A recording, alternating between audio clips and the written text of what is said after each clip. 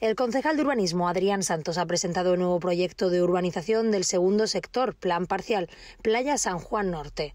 Este no es un proyecto nuevo, sino que lleva desde 2011 esperando a poder realizarse.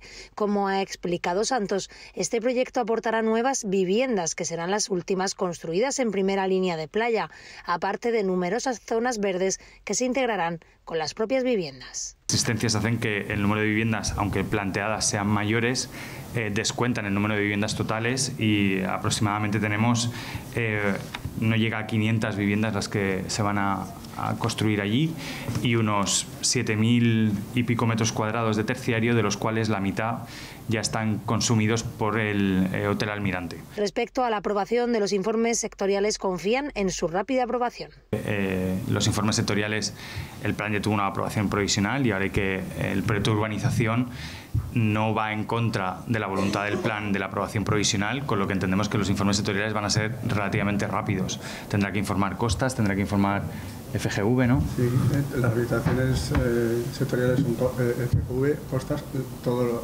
diversos organismos de la Consejería. ¿vale? Y, y, también nosotros técnicamente tenemos que informar el proyecto. Ha, lo hemos recibido ahora, pero haremos un informe técnico de supervisión. ¿Qué plazo? Se estima que el proyecto que pretende añadir a la playa de San Juan las últimas viviendas en primera línea de playa se finalice durante el próximo año.